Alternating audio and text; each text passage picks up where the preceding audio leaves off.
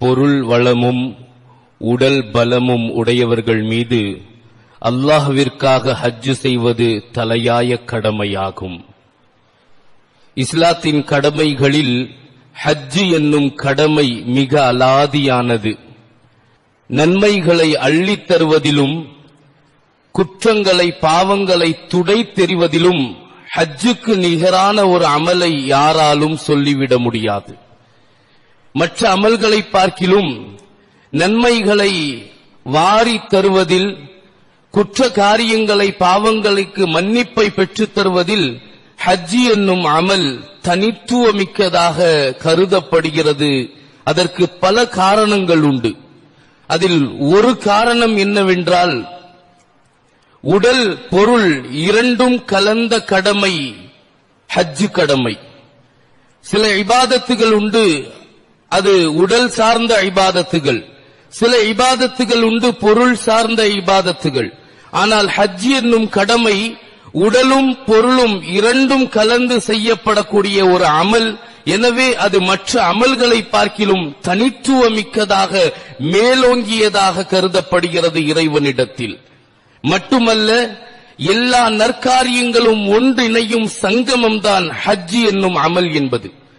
எல்லா அமல்களின் ஒட்டுமொத்த கலவை ஹஜ்ஜி என்பது. காரணம் ஹஜ்ஜி என்னும் அமலில் தவாஃப் உண்டு தொழுகை உண்டு நோன்பு உண்டு ஜக்காத்து போன்ற இறைவனுக்காக செலவு செய்வதுண்டு சிரமங்களை சகித்துக் கொள்வதுண்டு பொறுமையை கடைபிடிப்பதுண்டு நற்குணங்களை வெளிப்படுத்துவதுண்டு தியாகம் செய்யும் மனப்பான்மை உண்டு இத்தனை விஷயங்களும் ஒன்றிணைந்த ஒட்டுமொத்த கலவைதான் ஹஜ்ஜி என்னும் அமல் என்பது. தவாஃப் செய்வார்கள். தவாஃபை தொடர்ந்து இரண்டு ரகாத் மகாம இப்ராஹிம் இடத்தில் தொழுவார்கள். குர்பானிக்காக வேண்டி செலவு செய்வார்கள். ஹஜ் பயணத்திற்காக வேண்டி தன் பொருளாதாரத்தை செலவு செய்வார்கள். குர்பானி கொடுக்க வசதி இல்லாதவர்கள் அதற்கு பகரமாக பரிகாரமாக நோன்பு நோற்றுக் கொள்வார்கள். இப்படியாக எல்லா ஐபாதத்துகளும் கலந்த ஒரு கலவைதான் ஹஜ்ஜி என்பது. இப்பேற்பட்ட ஹஜ்ஜு மற்ற ஐபாதத்துகளை பார்க்கிலும் மேலோங்கியது தனித்துவமிக்கது. இஸ்லாத்தின் அலாதி கடமைகளில் ஒன்று ஹஜ்ஜி என்று சொன்னால் அது மிக சரியான செய்தி. எனவேதான் இந்த உலகில் தோன்றிய எல்லா நபிமார்களுக்கும் அல்லாஹ் ஆணையிட்டது ஹஜ்ஜை நிறைவேற்றுங்கள் என்பதாக. இந்த உலகில் தோன்றிய அத்துணை நபிமார்களும் மூன்று காரியங்களை செய்யாமல் இல்லை. எல்லா நபிமார்களும் அந்த மூன்று காரியங்களை நிறைவேற்றினார்கள். ஒன்று திருமணம் நிக்கா وَلَقَدْ أَرْسَلْنَا رُسُلًا مِنْ قَبْلِكَ وَجَعَلْنَا لَهُمْ أَزْوَاجًا وَذُرِّيَّةً நபியே நாயகமே உமக்கு முன்னால் அனுப்பிய அத்துணை நபிமார்களுக்கும் நாம் திருமணத்தை கடமையாக்கினோம் அவர்களுக்கு திருமண வாழ்க்கையை தந்தோம் குழந்தை செல்வங்களையும் தந்தோம் எல்லா நபிமார்களும் நிக்காகவை நிறைவேற்றி இருக்கிறார்கள் அதைத் தொடர்ந்து ஆடு மேய்ப்பது கால்நடைகளை மேய்ப்பது எந்த நபியும் ஆடுகளை மேய்க்காமல் கால்நடைகளை மேய்க்காமல் இல்லை எல்லா நபிமார்களையும் அல்லாஹ் அப்படித்தான் பக்குவப்படுத்தினான் என்பதாக பெருமானார் அவர்கள் பல நேரங்களில் சொல்லி காட்டுவார்கள். மூன்றாவது எந்த நபியும் ஹஜ்ஜு செய்யாமல் இல்லை. ஆதம அலிஹிஸ்லாம் அவர்கள் முதல் கொண்டு இறுதி தூதர் பெருமானார் ரசூலுல்லாஹி சல்லல்லாஹு அலஹி வசல்லம் அவர்கள் வரை அத்துணை நபிமார்களும் ஹஜ்ஜி என்னும் கடமையை நிறைவேற்றி இருக்கிறார்கள் ஹஜ்ஜி என்னும் கடமை ஆக உயர்ந்தது சிறந்தது. அல்லாஹ்விடத்தில் தனித்துவமிக்கது என்பதற்கு இதைவிட ஒரு பெரிய சான்று தேவையில்லை. எல்லா அமல்களும் சங்கமிக்கும் இடம். எல்லா அமல்களின் ஒட்டுமொத்த கலவை ஒட்டுமொத்த உருவம்தான் ஹஜ் என்னும் மகத்தான அமல். இந்த ஹஜ்ஜி என்பது என்ன? அதனுடைய கடமைகள் என்ன? மார்க்க மேதைகள் புரியும்படி சுருங்கச் சொல்வார்கள்.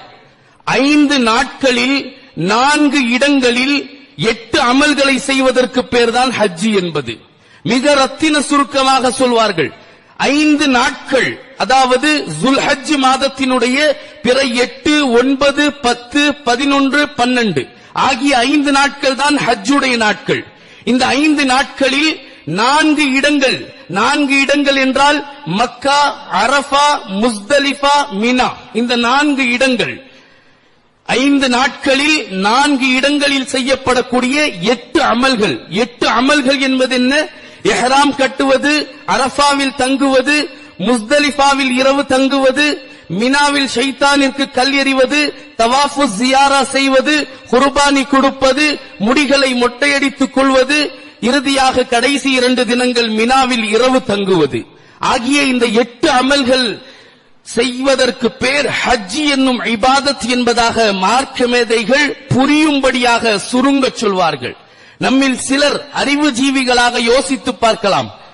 ஐந்தே நாட்கள் நான்கு இடங்கள் எட்டு அமல்கள். அமல்கள் என்னவென்றால் ஒரு இடத்திலிருந்து இன்னொரு இடத்திற்கு சென்று தங்குவது கல் எறிவது காபாவை சுற்றி வருவது. இவ்வளவுதான் அமல்கள். இது என்ன பெரிய இபாதத் என்று அறிவால் சிந்தித்தால் அது இபாதத்தாக தெரியாது. இறைவனின் மீது உள்ள அன்பால் பார்த்தோம் என்று சொன்னால் அது மிகப்பெரிய இபாதத்துகள். அறிவை கொண்டு இதை இபாதத் என்பதாக யாரும் பெரிதாக முடிவு செய்ய மாட்டார்கள். ஆனால் அன்பு கோணத்தில் இறை காதலின் பார்வையில் பார்த்தோம் என்று சொன்னால் அது ஒரு மிகப்பெரிய இபாதத்தாக தெரியும். இறைவனுக்காக இறை இல்லத்தை காண்பதற்காக புறப்பட்டு சென்று ஆங்காங்கே இறைவன் சொன்ன இடங்களுக்கெல்லாம் சென்று வெறும் கையோடு நின்று இறைவனின் பொருத்தத்திற்காக வேண்டி ஏங்கக்கூடிய அந்த நிலைகள் இருக்கிறதே அது இறை காதலர்களுக்கு தான் அது ஒரு மிகப்பெரிய இபாதத்தாக தெரியும். இறை காதலர்களுக்கு மட்டுமே இது இபாதத் என்பது புரியும். மட்டுமல்ல இறை காதலர்களால் மட்டும்தான் இந்த இபாதத்தை முழுமையாக செய்ய முடியும். யாராலும் சாதாரணமாக செய்துவிட முடியாது. இதுவரை ஹஜ் செய்தவர்களின் வரலாற்றை பார்த்தோம் என்று சொன்னால் அத்துணை பேரும் முக சுழிப்பின்றி மனக்கசப்பின்றி பல சிரமங்களையும் தாங்கி அதை செய்திருக்கிறார்கள் என்று சொன்னால் அதற்கு காரணம் அவர்கள் இறைவன் மீது வைத்திருந்த அன்பு காதல். இறை காதல் இறை அன்பு இருந்தால் மட்டுமே இந்த எட்டு அமல்களை சரியாக முக சுழிப்பின்றி மனதளவில் கூட சிரமத்தை வெளிப்படுத்தாமல் முழுமையாக நிறைவு செய்ய முடியும். தற்காலத்தில் பல வசதிகள் அதிகரித்து விட்டது. ஆனாலும் முற்காலங்களில் நடைப்பயணமாக சென்றார்கள். சில ஆண்டுகள் பல மாதங்கள் ஆகிவிடும். ஆனாலும் முகம் சுளிக்க மாட்டார்கள். மனதளவில் கூட கொஞ்சம் கூட வேதனையை வெளிப்படுத்த மாட்டார்கள். காரணம் இறைவனின் மீது அன்பு அவர்களின் உள்ளங்களில் மேலோங்கி இருந்தது நிரம்பி இருந்தது. நடைப்பயணமாக ஹஜ் செய்தவர்கள் ஏராளம். அதைவிட ஆச்சரியமான செய்தியை சொல்லட்டுமா? நைசாபுரியில் இருந்து மிக தொலைவில் இருக்கக்கூடிய ஒரு பகுதி மக்காவிலிருந்து நைசாபுரி என்ற நகரம். அங்கிருந்து ஒரு பெரியார் ஹஜ்ஜிற்கு வந்தாராம். எப்படி தெரியுமா? நான்கு எட்டுக்களுக்கு ஒரு முறை ரெண்டு ரக்கா தொழுவாராம் நாலு எட்டு எடுத்து வச்சுட்டா ரெண்டு ரக்கா தொழுவாரு மறுபடியும் நாலு எட்டு எடுத்து வைத்து ரெண்டு ரக்கா தொழுவார் இப்படியாக நைசாபுரியிலிருந்து மக்காவிற்கு ஹஜ்ஜிற்கு புறப்பட்டு வந்து சேர்வதற்கு இரண்டரை ஆண்டுகள் ஆனதாம். இது நடைப்பயணம் என்று சொல்ல முடியாது. சுஜூது பயணம் என்று சொல்லலாம். நடந்து வரவில்லை. சஜிதாவிலேயே வந்திருக்கிறார் இறை இல்லம் வரை. இப்படி வந்தும் கூட அவர்கள் அந்த சிரமங்களை பொறுத்து கொண்டார்கள். அல்லாவிற்காக வேண்டி அதை சிரமங்களாகவே எடுத்துக் கொள்ளவில்லை. காரணம் இறை காதலும் இறை அன்பும் அவர்களின் உள்ளத்தில் நிரம்பி இருந்தது.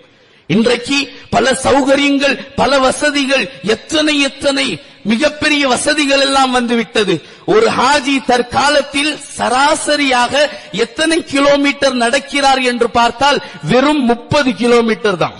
மக்காவிலிருந்து முஸ்தலிஃபா அராஃபா மினா என்று சுற்றி வரும் பொழுது முழுக்க அவர் ஐந்து நாட்களில் நடப்பது என்பது முப்பது கிலோமீட்டர் மட்டுமே. அந்த முப்பது கிலோமீட்டர் நடப்பது நம்மில் பலருக்கு மலையளவு சிரமமாக தெரிகிறது. ஆனால் இதற்கு முன்னால் நடைப்பயணமாக சுஜூது பயணமாக வந்தவர்கள் எத்தனை ஆயிரம் ஆயிரம் கிலோமீட்டர்கள் கடந்து வந்தார்கள். அவர்களுக்கு அது கஷ்டமாக தெரியவில்லை. காரணம் இறை காதலர்கள் இறைவன் மீது அன்பு கொண்டவர்களுக்கு மட்டுமே ஹஜ்ஜி என்பது ஆக இலகுவான செயல். மிக இலகுவான இபாதத்தாக அவர்கள் செய்து முடித்தார்கள்.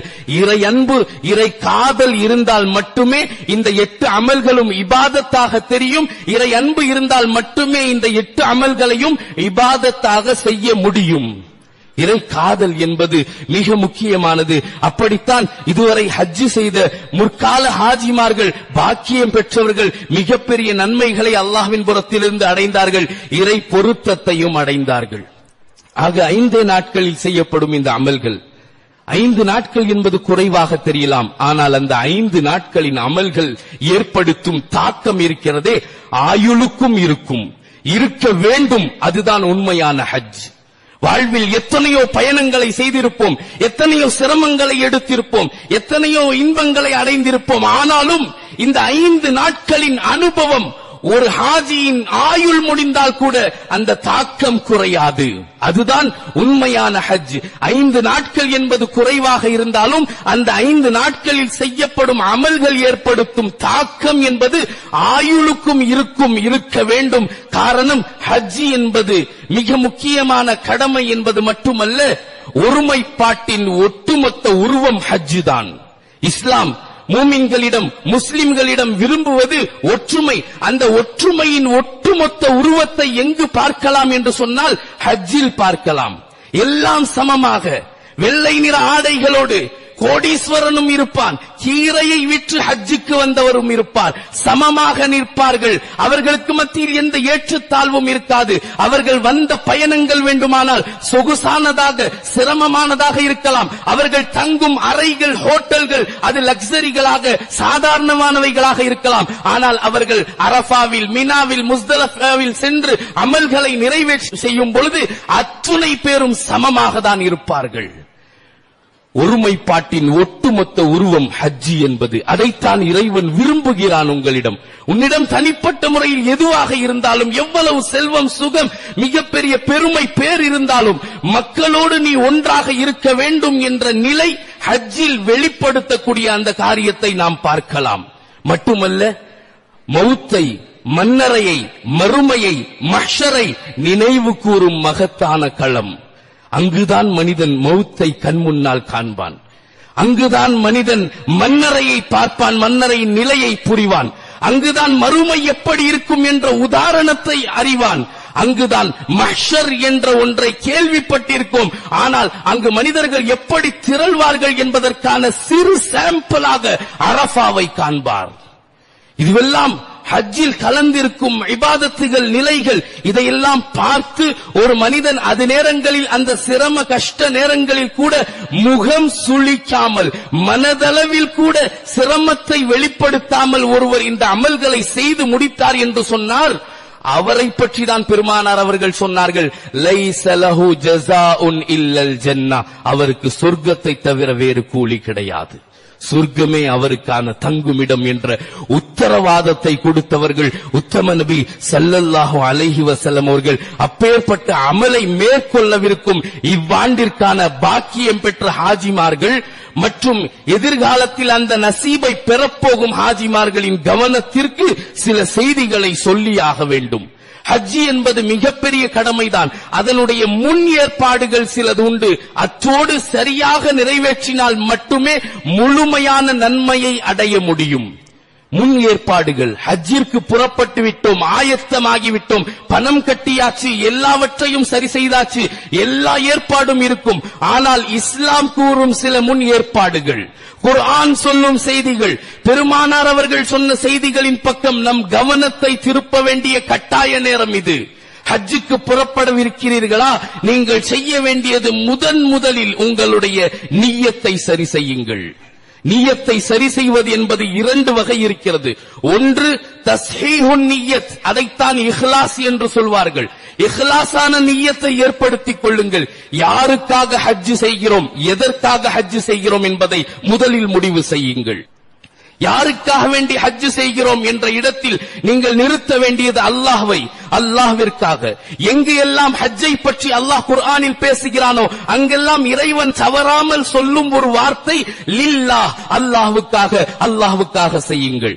யாருக்காக செய்கிறோம் என்பதில் அல்லாஹுக்காக செய்கிறேன் என்ற உறுதிக்கு முதலில் ஹாஜிமார்கள் வர வேண்டும். இரண்டாவது எதற்காக செய்கிறோம் என்று வரும் பொழுது பேருக்கோ புகழுக்கோ புகழ்ச்சிக்கோ பிறர் பேசுவதற்கோ அல்ல மாறாக முழுக்க முழுக்க இறை பொருத்தத்திற்காக செய்கிறேன் என்ற நீயத்தை கொண்டு வர வேண்டும். அதைத்தான் தஸ்ஹீஹுன் நிய்யத் என்பதாக சொல்வார்கள். முதலில் இதை ஹாஜிமார்கள் சரி செய்ய வேண்டும். காரணம் என்ன தெரியுமா? பெருமானார் சல்லல்லாஹு அலைஹி வசல்லம் அவர்கள் சொல்வார்கள் கியாம நாளின் நெருக்கத்தில் மோமின்களிடம் கெட்டு போகும் விஷயம் என்ன தெரியுமா? அவர்களின் ஹஜ்ஜுக்கான நிய்யத்து கெட்டு போய்விடும். கூட்டம் கூட்டமாக பெரும் கூட்டமாக புறப்படுவார்கள். ஆனால் அவர்களுடைய நியத்து சரியானதாக இருக்காது. அது கியாம நாளின் அடையாளம் என்று சொன்னார்கள் ரசூலுல்லாஹி சல்லாஹு அலஹி வசல்லம் அவர்கள். பெருமானாரின் வஃத்திற்கு பிறகு உமர் ரதி அல்லாஹு அவர்கள் தன் மகனோடு ஹஜ்ஜிற்காக வேண்டி சென்றிருக்கிறார்கள். ஹஜ் அமலை நிறைவேற்றக்கூடிய தருணத்தில் சஃபா மர்வா மலையின் மீது நின்று உமர் அலி அல்லாஹுடைய மகன் ஹாஜிமார்களின் கூட்டத்தை பார்க்கிறார். இன்று இருந்த அளவுக்கு கூட்டம் எல்லாம் இல்ல. கொஞ்சம் குறைவாக தான் இருந்தது. அந்த கூட்டத்தை பார்த்து இவனு அமர் அலி அல்லா அவர்கள் தன் தந்தையிடம் சொன்னார்கள் அருமை தந்தையே எத்தனை ஹாஜிமார்கள் பாருங்களேன் எத்தனை ஹாஜிமார்கள் பாருங்களேன் என்று ஆச்சரியத்தோடு சொன்ன பொழுது உமர் அலி அல்லா சொன்னார்களாம் அருமை மகனே நிறைய ஹாஜிமார்கள் என்று சொல்லாதீர்கள் நிறைய பயணிகள் என்று சொல்லுங்கள். இதில் பயணிகள் அதிகம் ஹாஜிகள் குறைவு. அர்ருக்குபு கசீருன் வல் ஹாஜு கலீலுன் பயணிகள் அதிகம் வந்திருக்கிறார்கள். ஆனால் இதில் ஹாஜிகள் என்பவர்கள் குறைவானவர்கள் தான் என்று அன்றைக்கே உமர் ரலியல்லாஹு அவர்கள் சொன்னார்கள் என்றால் இன்றைய நிலை எப்படி இருக்கும் என்பதை ஒரு கணம் சிந்தித்து பார்க்க வேண்டும். உன்னுடைய நீயத்து அல்லாஹுக்காக வேண்டி அல்லாஹ்வின் பொருத்தத்திற்காக வேண்டி என்று இருந்தால் மட்டுமே நீ முழுமையான நிரப்பமான ஹாஜி. இல்லை என்றால் நீ ஒரு வெற்று பயணி. நீ வெறும் பயணிதான். பயணம் செய்யக்கூடியவன். முசாஃபிர் என்று சொல்வார்கள். நீ ஒரு வெற்று பயணி. உன்னுடைய நீயத்து சரியாக இருக்கும் பட்சத்தில் மட்டுமே நீ அல்லாஹ்வின் பார்வையில் ஹாஜியாக கணிக்கப்படுவாய் என்ற செய்தியை உமர் ரதி அல்லாஹு அவர்கள் தன் மகனுக்கு சொல்வார்கள். எனவே ஹாஜிமார்கள் முதலில் நீயத் இஹ்லாசுன் நீயத் தஸ்ஹீஹுன் நீயத் இரண்டாவது தாயினுன் நீயத் என்று சொல்வார்கள். ஹஜ் செய்கிறோம். எந்த ஹஜ் செய்கிறோம் என்பதை முடிவு செய்ய வேண்டும். எந்த ஹஜ் என்று சொன்னால் என்ன? ஹஜ்ஜில் மூன்று ஹஜ்ஜுகள் இருக்கிறது. கிரான் ஹஜ்ஜ கிரான் என்று சொல்வார்கள். ஹஜ்ஜ தமத்தோ என்று சொல்வார்கள். ஹஜ்ஜ இஃப்ராத் என்று சொல்வார்கள். மூன்று வகையான ஹஜ்ஜுகள் இருக்கிறது. அதில் எந்த ஹஜ் செய்ய போகிறோம் என்பதை முடிவு செய்ய வேண்டும். அதற்கு இந்த மூன்று வகை ஹஜ்ஜுகளை பற்றி சுருங்க தெரிந்து கொள்ள வேண்டும். ஹஜ்ஜ கிரான் என்பது ஒருவர் புறப்படும் பொழுதே உம்ராவையும் ஹஜ்ஜையும் சேர்த்து நியத்து செய்து ஒரே எஹராமை கட்டிக்கொள்வது. அந்த எஹராம்லயே அவர் உம்ராவை முடிச்சு எஹராமை கலையாமல் எஹராமோடுவே பக்குவத்தோடு இருந்து ஹஜ்ஜுடைய காலம் அந்த ஐந்து நாட்கள் வரும் வரை காத்திருந்து அதே எஹராமில் ஹஜ்ஜையும் நிறைவேற்றுவார். இதற்கு ஹஜ்ஜ குரான் என்று சொல்வார்கள். இது கொஞ்சம் சிரமமும் கூட. காரணம் உம்ரா செய்த பிறகு எஹராமை கலையாமல் அப்படியே இருப்பது என்பது எஹராமுடைய சட்டங்கள் அவர் மீது இருக்கும். லேசாக ஒரு ரோமம் கூட விழுகாத அளவிற்கு நடந்து கொள்ள வேண்டும். மன வாசன பொருட்களை பூசிக்கொள்ளக் கூடாது ஏதேனும் சிறுபெரு வார்த்தைகளை பேசிவிடக் கூடாது எஹ்ராமின் நிலையில் நீடித்திருக்கும் பொழுது மிக கவனமாக இருக்க வேண்டும். எனவே ஹஜ்ஜ கிரான் என்பது ஒரு எஹ்ராமை கட்டி உம்ராவை முடித்து அதே எஹ்ராமில் நீடித்திருந்து ஹஜ்ஜு காலம் வரை அந்த நாட்கள் வரை இருந்து ஹஜ்ஜையும் அதே எஹ்ராமோடு நிறைவேற்றுவது ஹஜ்ஜ கிரான் என்று சொல்வார்கள். இரண்டாவது இருக்கிறது ஹஜ்ஜ தமத்துவம் உம்ராவையும் ஹஜ்ஜையும் நீயத்து செய்திருப்பார். ஆனாலும் சென்றவுடன் உம்ராவை முடித்துவிட்டு உம்ரா முடிந்ததும் இஹராமை களைந்து விடுவார். நார்மலான ஆடைக்கு வந்து விடுவார். அவரின் மீது இஹ்ராமின் சட்டங்கள் எதுவும் இருக்காது. சாதாரணமாகவே இருப்பார். பிறகு ஹஜ்ஜின் நாட்கள் வரும் பொழுது மறுபடியும் ஹஜ்ஜுக்கென்று இஹ்ராம் தனியாக கட்டுவார். இது ஹஜ்ஜ தமத்துவம் என்பதாக சொல்வார்கள். பெரும்பாலானவர்கள் இப்படிப்பட்ட ஹஜ்ஜை தான் செய்கிறார்கள். மூன்றாவது ஹஜ்ஜ இஃப்ராத். இஃப்ராத் என்று சொன்னால் உம்ராவை நீயத் செய்யாமல் வெறும் ஹஜ்ஜை மட்டுமே நீயத் செய்து இஹ்ராம் கட்டுவது.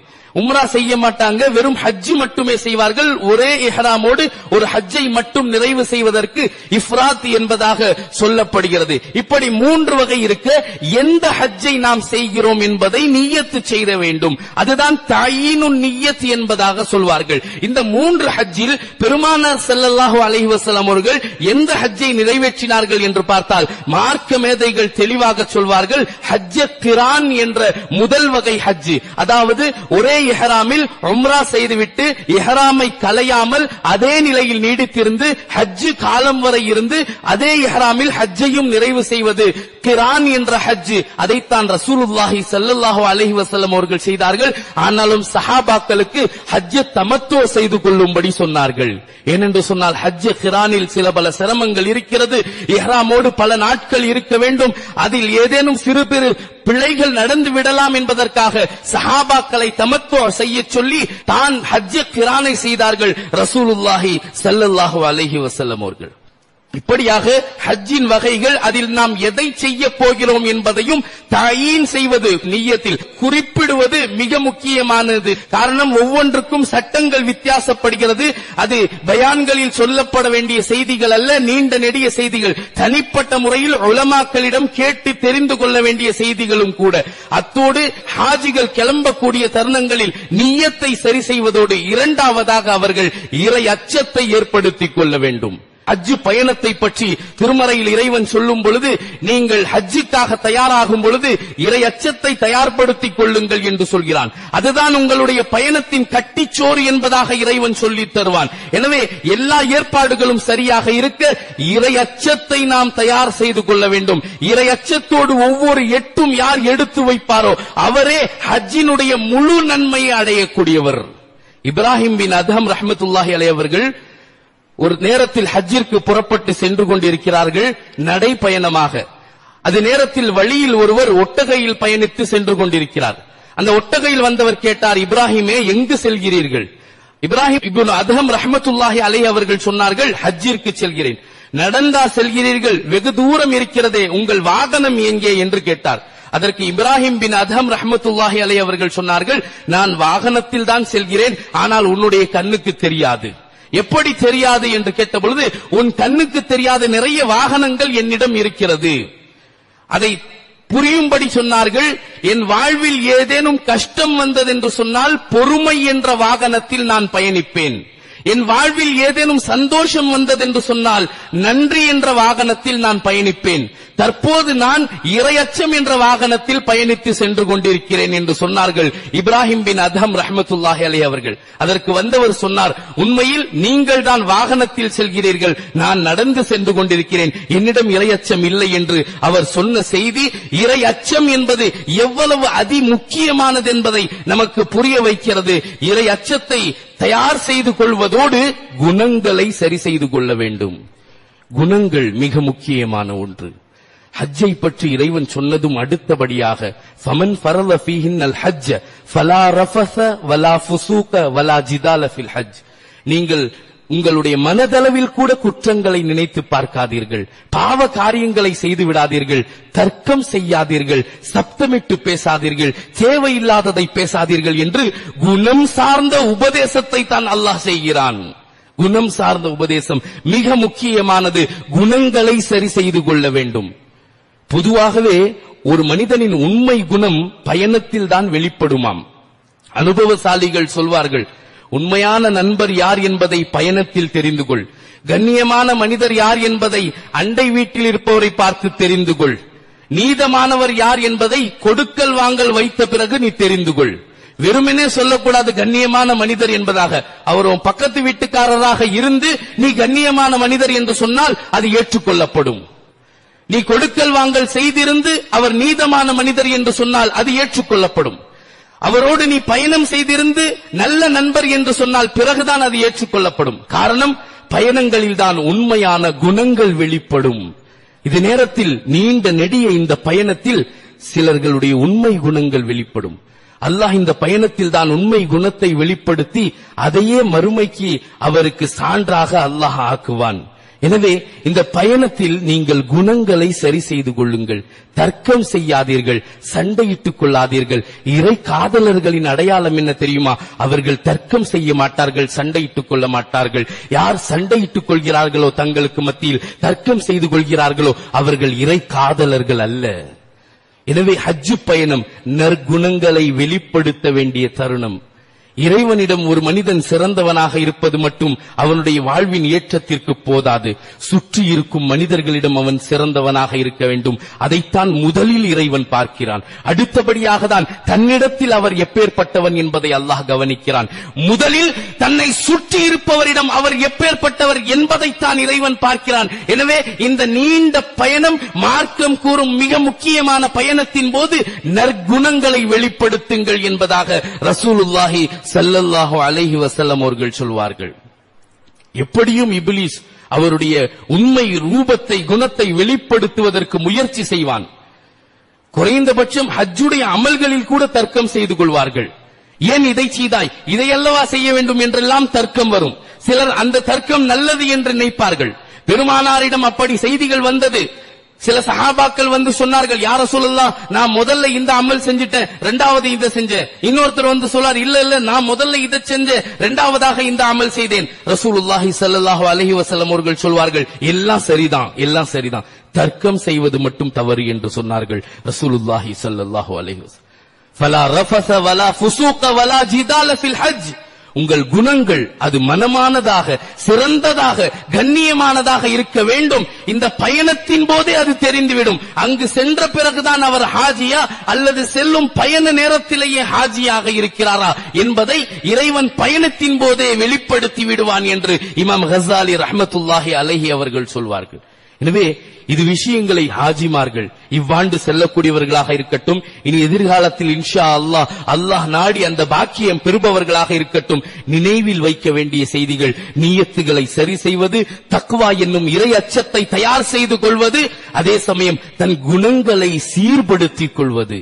தன்னுடைய பழைய போக்கை விட்டு விடுவது. வேக போக்கு கோப போக்கு முறைத்துக் கொள்ளும் போக்கு வார்த்தைகளை பேசுவது இது போன்ற நிலைகளில் எல்லாம் அப்படியே மாற்றிக்கொள்ள வேண்டும். இந்த பயணத்தில் ஒரு சிறந்த மனிதராக இருக்கும் பட்சத்தில் அதுவே அவருடைய ஹஜ் கபூல் ஆகுவதற்கான காரணியாக அமையும் என்பதில் எந்த ஐயமும் இல்லை.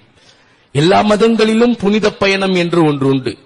ஆனால் மற்ற மதங்களின் புனித பயணத்திற்கும் இஸ்லாம் கூறும் ஹஜ்ஜி என்னும் பயணத்திற்கும் வித்தியாசம் உண்டு என்னவென்றால் மற்ற மதங்கள் கூறும் புனித பயணங்கள் அந்த பயணத்திற்கு சென்று அங்கே குளித்தால் அந்த ஆற்றில் குடித்தால் அவருடைய எல்லா பாவங்களும் மன்னிக்கப்படும் என்று மற்ற மதங்கள் சொல்கிறது. ஆனால் இஸ்லாம் சொல்கிறது நீ ஹஜ்ஜு செய்யும் பட்சத்தில் இறைவனுக்கு நீ செய்த மாறு மட்டுமே மன்னிக்கப்படும். நீ பிற மனிதர்களுக்கு செய்த அநீதங்கள் அது மன்னிக்கப்படுவதில்லை. காரணம் அது நேரடியாக சம்பந்தப்பட்டவர் மன்னிக்காதவரை இறைவன் மன்னிக்க மாட்டான். எனவே திரும்பி வரும் பொழுது அன்று பிறந்த பாலகனாக வர வேண்டும் என்று ஆசைப்படுபவர்கள் பிற மனிதர்களுக்கு செய்த அநியாயங்களை புறப்படும் பொழுதே அதற்கான மன்னிப்பை தேடிக் கொள்ளுங்கள். நேரடியாக சந்தித்து பேசி அவர்களிடம் எடுத்துச் சொல்லி ஏதோ நடந்து விட்டது என்று புரிய வைத்து அவர்களின் சிறு புன்னகையை பார்த்துவிட்டு சென்று விடுங்கள். யாரிடமெல்லாம் நீங்கள் பகைத்துக் கொண்டீர்களோ விரோத போக்கை கடைபிடித்தீர்களோ யாரிடம் பேசாமல் இருக்கிறீர்களோ அச்சனை பேரையும் நேரில் சந்தித்து பேசி சிறு புன்னகையை வாங்கிவிட்டு சென்றீர்கள் என்று சொன்னால் நிச்சயம் திரும்பி வரும் பொழுது அவர்தான் அன்று பிறந்த பாலகர். மாறாக பகைமையை வைத்துக் கொண்டு மோசடிகளை அப்படியே விட்டுவிட்டு கொடுக்கல் வாங்கலில் சரியான பேச்சை நிறைவு செய்யாமல் ஒரு முடிவுக்கு வராமல் ஆறுதல் கூறாமல் தான் செய்த தவறுக்கு மன்னிப்பு கோராமல் அப்படியே புறப்பட்டு சென்றவர் திரும்பி வரும் பொழுது வெறும் அல்லாவிற்கு செய்த மாறுகளை மட்டும் தான் மன்னிக்கப்பட்டவராக வருவாரே தவிர மனிதர்களுக்கு செய்யப்பட்ட மாறுகள் ஹஜ் மன்னிக்காது. நினைவில் கொள்ள வேண்டும். ஹஜ் மனிதனை அன்று பிறந்த பாலகனாக ஆக்கிவிடும் ஆக்கிவிடும். ஆம் ஆக்கும். இறைவனுக்கு நீ செய்த குற்றங்களை துடை தெரியும்.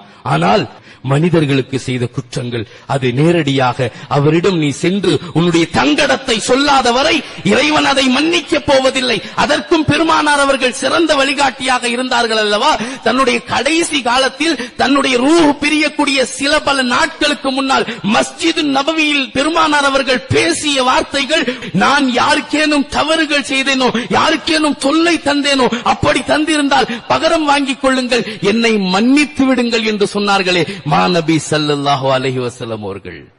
காரணம் ஒரு மனிதனுக்கு செய்த அநியாயங்களை அந்த மனிதன் மன்னிக்காதவரை இறைவன் மன்னிக்க மாட்டான் என்று சொன்னார்கள். பிற மனிதர்களுக்கு செய்த மோசடிகள் ஹுக்கூக்குல் விஷயத்தில் நீ நேரடியாக புறப்படுவதற்கு முன் சந்தித்து அவரின் புன்னகையை வாங்கிச் செல். நிச்சயம் திரும்பி வரும் பொழுது அன்று பிறந்த பாலகனாக வருவாய். இன்றைக்கு மோசடிகள் நாளுக்கு நாள் அதிகரித்து வருகிறது. ஒரு ஆய்வு சொல்கிறது மனிதர்களுக்கு மோசடி செய்பவன் துரோகம் செய்பவன் அதிகமானவர்கள் ஆத்திகர்களா நாத்திகர்களா? கடவுள் நம்பிக்கை உள்ளவன் அதிகம் மோசடி துரோகங்களை செய்கிறானா? அல்லது கடவுள் நம்பிக்கை இல்லாதவன் அதிகம் மோசடி துரோகத்தை செய்கிறானா? என்ற ஒரு ஆய்வில் ஆத்திகன்தான் அதிகம் மோசடிகளை துரோகங்களை செய்கிறான். கடவுள் நம்பிக்கை உள்ளவன் அதற்கான காரணம் என்ன தெரியுமா? கடைசியில எங்கேயாவது போய் பாவத்தை கழுவிடலான்னு அந்த மதங்கள் சொல்கிறது. ஆனா இஸ்லாம் அப்படி சொல்லல. நீ மனிதனுக்கு செய்த குற்றங்களை அவரிடம் நேரடியாக நீ மன்னிப்பு கோராதவரை இறைவனோ ஹஜ்ஜோ அதை மன்னிக்க போவதில்லை. கடவுள் நம்பிக்கை இல்லாதவனை விட கடவுள் நம்பிக்கை இருப்பவன் தான் அதிகம் குற்றங்களை செய்கிறார்கள். காரணம் ஒரு குருட்டு நம்பிக்கை. கடைசியில் சென்று அங்கே நீராடி வந்தால் எல்லா பாவங்களும் கரைந்தோடிவிடும். மார்க்கம் அதற்கு இடம் தரவில்லை. இஸ்லாம் அப்படி சொல்லவில்லை. நீ இறைவனுக்கு செய்த துரோகங்கள் குற்றங்கள் மாறுகள் அவன் கட்டளைகளை மீறியது அத்துணையும் ஹஜ்ஜி துடை தெரியும். ஆனால் உன்னை சுற்றி இருந்த மனிதர்களுக்கு பெற்ற தாய் தந்தைக்கு சகோதர சகோதரிகளுக்கு உன் அண்டை வீட்டுக்காரர்களுக்கு உறவினர்களுக்கு உன்னோடு வியாபாரம் செய்த கூட்டாளிகளுக்கு நீ செய்த துரோகம் மோசடியை ஹஜ்ஜு மட்டுமல்ல அல்லாஹும் மன்னிக்க மாட்டான். எதுவரை அவர் மன்னிக்க மாட்டாரோ அதுவரை. எனவே அன்று பிறந்த பாலகனாக திரும்ப வர ஆசைப்படுபவர்கள் செல்வதற்கு முன்னால் யாரின் மனதை காயப்படுத்தினோமோ யாரோடு பகைமையை வைத்துக் கொண்டோமோ நம்ம மேல தப்பில்ல அவர்தான் முறைச்சுக்கிட்டு சுத்துறார். அப்படி இருந்தா கூட நீ இந்த நேரத்தில் ஹஜ்ஜுக்கு புறப்படுவதாக இருந்தால் நீயே சென்று இறங்கி மன்னிப்பு கேட்பதில் குற்றமில்லை. இறங்கி மன்னிப்பு கேட்பவன் நஷ்டவாளி அல்ல. என்றைக்கும் அவன் உயர்ந்தவன் தான் என்றைக்கும் அவன் அல்லாஹ்விடத்தில் கண்ணியமானவன் தான் என்று இமாம் ஹசாலி ரஹமத்துல்லாஹி அலஹி அவர்கள் சொல்வார்கள். எனவே ஹஜ்ஜு ஒரு மனிதரை அன்று பிறந்த பாலகனாக மாற்றும் என்று சொன்னால் அது முறையாக செய்யப்பட்டால் மட்டுமே.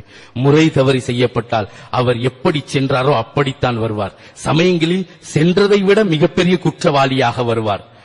முழுமையான அன்று பிறந்த பாலகனாக வர வேண்டும் என்று சொன்னால் அப்படி ஒரு ஆசை ஹாஜிமார்களுக்கு இருக்கும் இருக்க வேண்டும் இருந்தது என்று சொன்னால் அவர்கள் இது விஷயங்களை கவனிக்க வேண்டும். தான் யாரேனும் மனங்களை காயப்படுத்தி இருந்தால் அதை துரிதமாக சென்று இரண்டு வார்த்தைகள் பேசி லேசான புன்னகை அவர் புன்னகைத்தால் போதும். அது போலியானதாக இருந்தால் கூட பரவாயில்லை. அவர் புன்னகைத்து விட்டான் என்று சொன்னால் அதன் காரணமாகவே அல்லாஹ் உன்னுடைய ஹஜ்ஜை மக்பூலாக மபுரூராக ஆக்குவது மட்டும் மட்டுமின்றி திரும்பி வரும் பொழுது அன்று பிறந்த பாலகனாக வருவார் என்பதில் ஐயமில்லை. அப்படித்தான் பெருமானார் அவர்கள் வழிகாட்டினார்கள்.